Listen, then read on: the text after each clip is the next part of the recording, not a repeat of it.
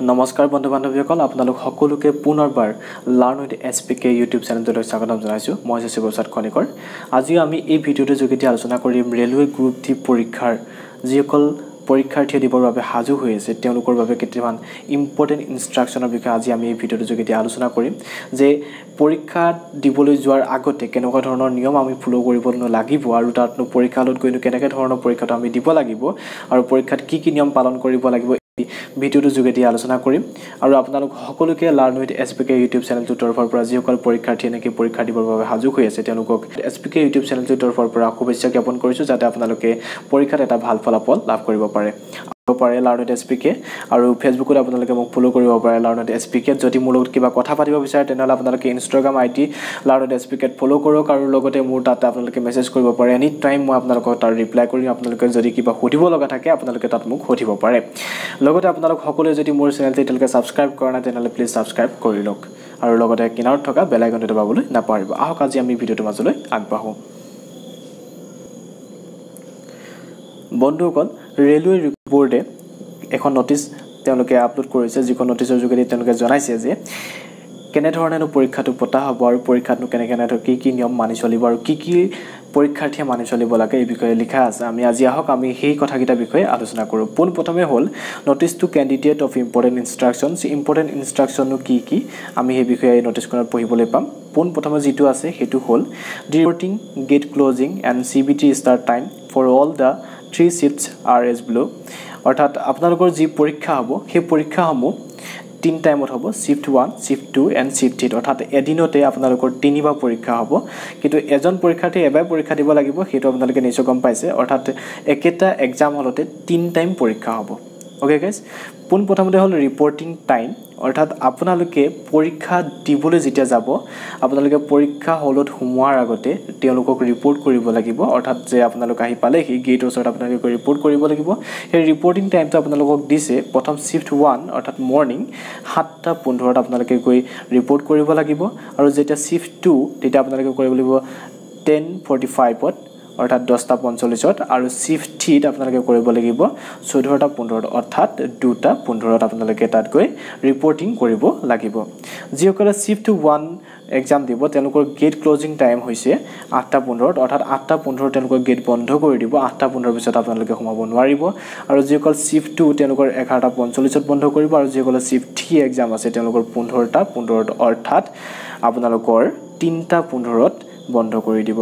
আৰু আপোনালোকে exam start হ'ব যিসকলে শ্বিফ্ট ওৱানত আছে অৰ্থাৎ মৰ্ণিং এক্সাম দিব তেওঁলোকৰ এক্সাম ষ্টাৰ্ট হ'ব ন বজাৰ পৰা আৰু যিসকলে শ্বিফ্ট টুত আছে তেওঁলোকৰ এক্সাম হ'ব বাৰটা ত্ৰিছৰ পৰা আৰু যিসকল শ্বিফ্ট থ্ৰীত আছে তেওঁলোকৰ এক্সাম হ'ব ষোল্লটাৰ পৰা অৰ্থাৎ চাৰি বজাৰ পৰা। অলৰেডি আপোনালোকৰ যিটো এডমিট কাৰ্ড বা ই কল লেটাৰ তাত অলৰেডি আপোনালোকক এই বিষয়ে উল্লেখ কৰা থাকিব। আপোনালোকে ভালদৰে চাই ল'ব যে আপোনালোকৰ শ্বিফ্ট ওৱানত আছেনে টুত আছেনে আৰু থ্ৰীত এক্সাম আছে আপোনালোকে চাই ল'ব। অ'কে গাইজ ইয়াত লিখা আছে যে candidate have to report to well in time আপোনালোকে সময়মতে ৰিপৰ্ট কৰিব লাগিব। Candidate will not be allowed after gate closure time অৰ্থাৎ যেতিয়া আপোনালোকৰ গেট বন্ধ কৰিব তাৰপিছত আপোনালোকে ভিতৰত সোমাবলৈ নাপাব। অ'কে আমি নেক্সট ইনষ্ট্ৰাকশ্যনটো হ'ল যে নেক্সট ইনষ্ট্ৰাকশ্যনটো লিখা আছে যে candidate must carry any one of the original photo I Ds listed in the ecall letter আপোনালোকৰ যিটো এডমিট কাৰ্ড আছে এডমিট কাৰ্ড বা ইকল লেটাৰ তাত আপোনালোকৰ তলত ইনষ্ট্ৰাকশ্যনত লিখা আছে যে আপোনালোকে যিকোনো এটা ভোটাৰ আই ডি হওক পান কাৰ্ড হওক এনেকুৱা ধৰণৰ কিবা এটা আপোনালোকে অৰিজিনেল আই ডি নিব লাগিব যিটো নেকি আপোনালোকৰ লগত ফটো থাকিব। অৰ্থাৎ আপোনালোকে ইকল লেটাৰখন ভালকৈ পঢ়ি চাব তাত নিশ্চয় তলত লিখি থোৱা আছে যে কি কি আপোনালোকে নিব পাৰিব। তাৰ যিকোনো এটা নিব লাগিব। মই ভাবোঁ ভোটাৰ কাৰ্ড পান কাৰ্ড আপোনালোকে ঠিক তেনেধৰণে যিকোনো এটা ল'লেই হ'ল আৰু আপোনালোকে এটা লৈ যাব। লাগিব তাৰে এটা। আৰু নেক্সট কথাটো হ'ল যে candidate coming with photo copy xerox of photo not be allowed for the exam আপোনালোকৰ এক্সাম হললৈ আপোনালোকে যেতিয়া যাব তেতিয়া আপোনালোকে যদি ফটো কপি বা জেৰক্স কপি লৈ যায় অৰ্থাৎ আপোনালোকে যিটো আই ডি তো সেই আই ডিটো যদি ফটো কপি বা জেৰক্স কপি লৈ যায় তেনেহ'লে তেতিয়া আপোনালোকক কি কৰি নকৰে এলাউ নকৰে। গতিকে কথাটো মনত ৰাখিব আপোনালোকে যেতিয়া পৰীক্ষা দিবলৈ যাব লগত আপোনালোকৰ ইকল লেটাৰৰ তলত লিখি থোৱা যিকোনো এটা I D I think voter voter I D হওক বা পান কাৰ্ড হওক নাইবা আপোনালোকৰ আধাৰ কাৰ্ড হওক যিকোনো এটা আপোনালোকে লগত অৰিজিনেলটো লৈ যাব। অ'কে তিনি নম্বৰ ইনষ্ট্ৰাকশ্যনত দিয়া আছে যে mobile phone pager ৱাটছেছ bluetooth enable devices calculator metallic wares bangles belts bracelets etcetera are not allowed inside the test centre অৰ্থাৎ আপোনালোকৰ এক্সাম হললৈ এই বস্তুকেইটা আপোনালোকে নিব নোৱাৰিব। সেইকেইটা হৈছে আপোনালোকে মোবাইল ফোন আপোনালোকে লগত নিব নোৱাৰিব পেজাৰ আপোনালোকে নিব নোৱাৰিব ৱাটচেছ অৰ্থাৎ ঘড়ী আপোনালোকে নিব নোৱাৰিব বুলেট ব্লুটুথ ইনেবল ডিভাইচেছ কিছুমানে কি কৰে পৰীক্ষা হললৈ যাওঁতে লগত ব্লুটুথ ইনেবল ডিভাইচ লৈ যায় যিটো নেকি মোবাইলৰ লগত সংযোগ কৰি ল'ব পাৰি। আপোনালোকে সেইটো নিব নোৱাৰিব। কেলকুলেট আপোনালোকে নিব নোৱাৰিব। মেটেলিক ৱেৰ অৰ্থাৎ আপোনালোকে এনেধৰণৰ কাপোৰ কানি নিপিন্ধিব যিবিলাক কাপোৰ কানিত নেকি আপোনালোকৰ ধৰি লওক ধাতৱ জাতীয় কাপোৰ কানি হয় তেনেধৰণৰ কাপোৰ কানি আপোনালোকে নিপিন্ধিব। আৰু নেক্সট আপোনালোকে খাৰু পিন্ধিব নোৱাৰিব বেল্ট পিন্ধি নাযাব। বেল্ট পিন্ধাটো ইয়াত বন্ধ কৰা হৈছে। লগতে ব্ৰেচলেট অৰ্থাৎ আপোনালোকে হাতত ব্ৰেচলেট পিন্ধি নাযাব। এইটো এলাউ কৰা নহ'ব এক্সাম হলত অ'কে গাইজ চাৰি নম্বৰত ইনষ্ট্ৰাকশ্যনত দিয়া আছে যে do not apply mehndi henna on left thumb to avoid difficult in registration অৰ্থাৎ আপোনালোকে কেতিয়াও বাওঁ হাতৰ বুঢ়া আঙুলিত মেহেন্দি বা হেনা একো নলগাব। কাৰণ এইটোৱে আপোনালোকক প্ৰব্লেম দিব পাৰে ৰেজিষ্ট্ৰেশ্যনত প্ৰব্লেম দিব পাৰে। অ'কে গাইজ নেক্সট পাঁচ নম্বৰটো দিয়া আছে যে the equal letter is not having self declaration paragraph অৰ্থাৎ আপোনালোকৰ যিখন এডমিট কাৰ্ড আছে তাত উল্লেখ কৰা হোৱা নাই কোনো ধৰণৰ চেল্ফ ডিক্লেৰেশ্যন আপোনালোকে পেৰেগ্ৰাফ দিয়া হোৱা নাই।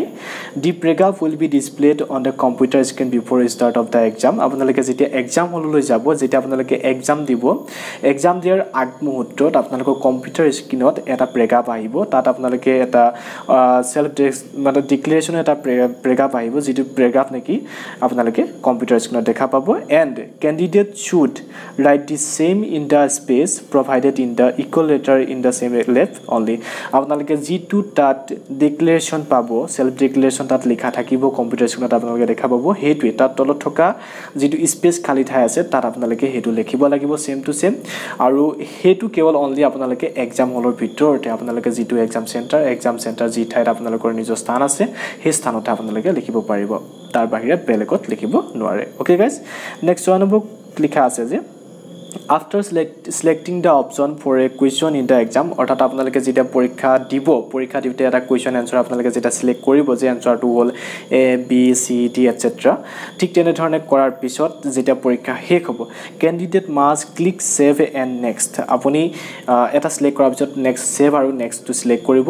আৰু তাৰপিছত যদি আপুনি কিবা কাৰণত আনছেভ কৰে আপুনি কুৱেশ্যন এনচাৰ দিলে ধৰি লওক আপুনি এনচাৰ দিলে এ বি তাৰপিছত যদি আপুনি কেনেবাকৈ ছেভ নকৰে কৰে তেতিয়া কি হ'ব? সেইটো আনছেভ হৈ যাব। আৰু আনছেভ হোৱা মানে আপোনালোকৰ এক্সামটো এনচাৰ দিয়া নহ'ল। অ'কে গাইজ সাত নম্বৰত কি দিয়া আছে? আমি তাক চাওঁ। সাত নম্বৰত দিয়া আছে যে আছে যে indulging in any type of malpractice unfair means misbehaviour indiscipline impersonation at the examination venue will lead to disqualification in the exam and debarment from the future RRB examinations appointed appointment in railways গতিকে আপোনালোকে সেই পৰীক্ষা হলত কি নকৰিব মিছবিহেভিয়াৰ indiscipline ইত্যাদি কামবিলাক নকৰিব যিবিলাক নেকি আপোনালোকক পৰীক্ষা হলৰ পৰা বহিষ্কাৰো কৰিব পাৰে অ'কে গাইজ এই যিখন নটিচ আছিলে সেই নটিচখন তেৰ ন দুহেজাৰ ওঠৰ তাৰিখে ৱেবছাইটত আপলোড কৰিছিলে chairpersons railway recruitment board মই ভাবোঁ আপোনালোকে ভিডিঅ'টো চাই নিশ্চয় ভাল পালে। অৰ্থাৎ আপোনালোকে জানিব পাৰিলে যে ৰেলৱে এক্সামতনো আপোনালোকে কেনেধৰণে যাব লাগিব আৰু ইম্পৰ্টেণ্ট ইনষ্ট্ৰাকশ্যনবিলাকনো কি আছিলে আপোনালোকে নিশ্চয় গম পালে।